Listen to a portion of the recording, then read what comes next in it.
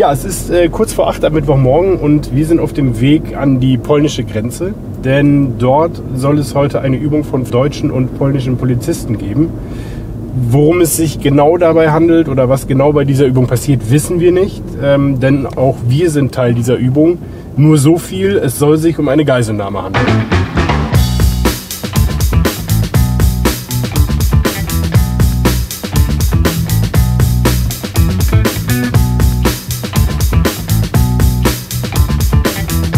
Also zum jetzigen Zeitpunkt wissen wir, dass es um 7.05 Uhr einen Notruf gegeben hat in der Einsatzleitstelle des Polizeipräsidiums Neubrandenburg. Ein Hinweisgeber haben äh, berichtet, dass es vor einer regionalen Schule im Ribnitz-Dammgarten zwei Kinder gegeben hat, die in einen äh, silberfarbenen Transporter gezerrt sein sollen und ebenfalls eine Frau. Ja, wir sind jetzt äh, nicht in eine Polizeisperre gekommen, äh, sondern sind direkt auf diesen Parkplatz hier gefahren. Äh, diese Sperre soll sich wohl im Wald befinden. Äh, und da sollen wir dann jetzt nachher hingebracht werden. Und wir können auch nicht mit unseren eigenen Fahrzeugen fahren, sondern wir werden von der Polizei in Streifenwagen mitgenommen. Wieder anders als gedacht. Äh, fahren wir jetzt wohl doch nicht mit dem Polizeiwagen mit, sondern äh, fahren selbst irgendwo hin. Wo genau, wissen wir auch noch nicht. es geht wohl, glaube ich, zu der ersten Stelle, wo ein erster Einsatz oder sowas stattfinden soll. Ja, mal schauen. Wir müssen uns erstmal dran sein.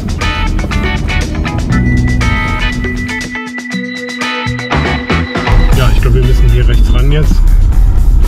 Und ja, da sieht man es ja schon im Wald, überall Polizei. Äh, wir steigen mal aus und gucken uns das mal an.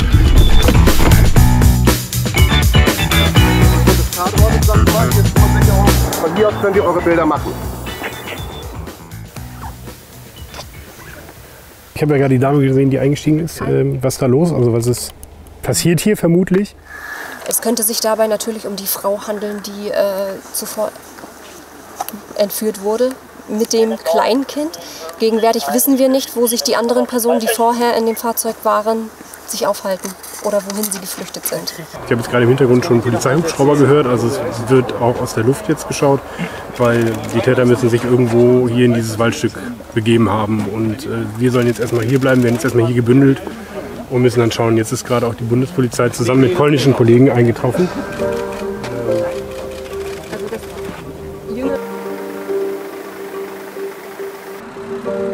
Also jetzt rücken hinter uns massiv Polizeikräfte ein und wir kriegen jetzt einen aktuellen Stand zu hören von der Pressesprecherin.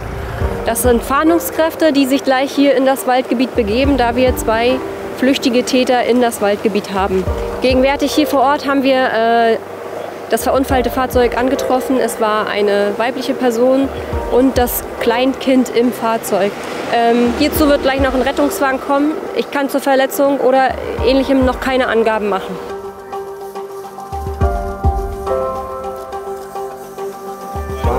Geht es um die Zusammenarbeit. Das war hier eine Übung ne, der Zusammenarbeit der polnischen und deutschen Polizei. Wie sieht die Zusammenarbeit im Moment aus? Weil momentan sich hier nun deutsche Kräfte. Äh, was läuft im Hintergrund? Ja, also äh, wir haben natürlich auch polnische Kollegen angefordert für diesen Einsatz. Ähm, jetzt können Sie aber gewiss sein, dass wir auch auf der äh, beziehungsweise hinter der Grenze ähm, schon Kräfte aufbauen, sag ich mal, im Kräftepool. Ähm, Sie sehen jetzt hier zwar keine, aber die sind vielleicht auch ein Stück weiter dichter an die Grenze äh, sortiert, statt hier, wo jetzt der Unfallort war. Man kennt das ja aus den Filmen aus Amerika. Äh, der Geflüchtete rennt über die Grenze, die Polizei bleibt stehen und sagt, oh, hier darf ich nicht weiter. Wie sieht es denn in der Realität in Deutschland aus? Es gibt zwischen der Bundesrepublik Deutschland und der Republik Polen ein sogenanntes Abkommen über die grenzüberschreitende Nacheile. Dieses Abkommen besagt, dass wenn man Straftaten feststellt, die auslieferungsfähig sind, und das sind in Deutschland fast alle Straftaten, darf man die Grenze überschreiten mit einer rein nationalen Streife. Wir fahren jetzt an die polnische Grenze und gucken uns da die nächste Situation an, wie es da aussieht.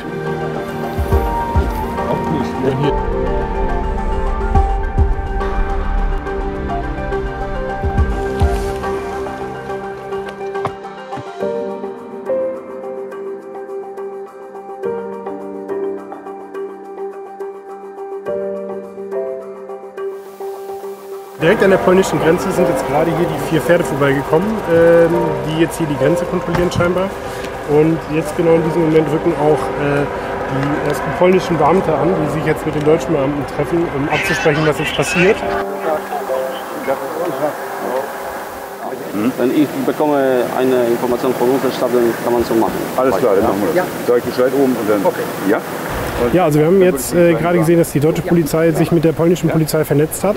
Ähm, die haben jetzt Funkstrecken ausgetauscht, äh, sodass jetzt ein Austausch von Informationen stattfindet. Auch die polnischen Medienvertreter sind mittlerweile hier an der deutschen Grenze eingetroffen.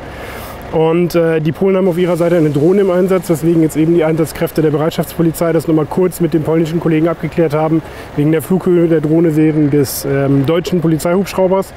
Und ja, wir haben noch keine neuen Erkenntnisse, was die Entwicklung angeht. Ähm, aber der Täter soll wohl in Richtung Polen geflüchtet sein. Ich würde sagen, wir schnappen uns noch eine Pressesprecherin und äh, fragen mal, was denn jetzt passiert.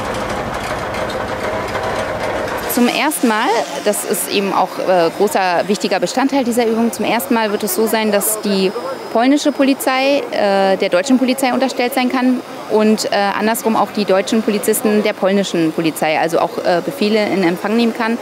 Und ähm, das ist eben ein sehr wichtiger Punkt, weil in einer Echtlage das auch wichtig ist, dass eben die Ermittlungen nicht an einer Grenze, an einer Landesgrenze, an einer Staatengrenze Halt machen müssen. Ja, vom Grenzübergang äh, fahren wir jetzt weiter äh, auf die polnische Seite oder wir sind auf der polnischen Seite. Und hier soll dann jetzt gleich die Übung zu ihrem Ende kommen. Äh, das heißt besprechend vor Vorbereitung für den gemeinsamen Einsatz. Ne? Okay, super, vielen Dank.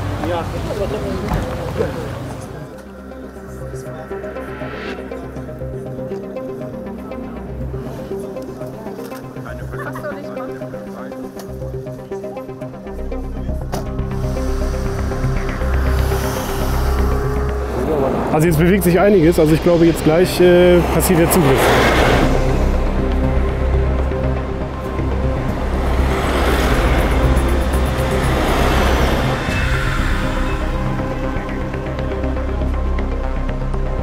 Der erste Täter ist festgenommen. Ähm, das Kind ist gefunden und äh, in Sicherheit von uns und von unseren Kräften ähm, genommen. Also der ist jetzt äh, sicher zu Hause.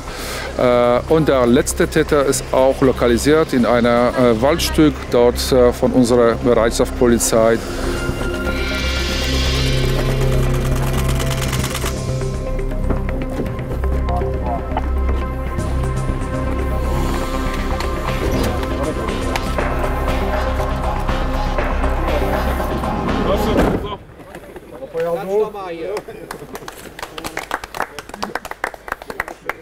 Ja, damit äh, scheint diese Übung beendet zu sein.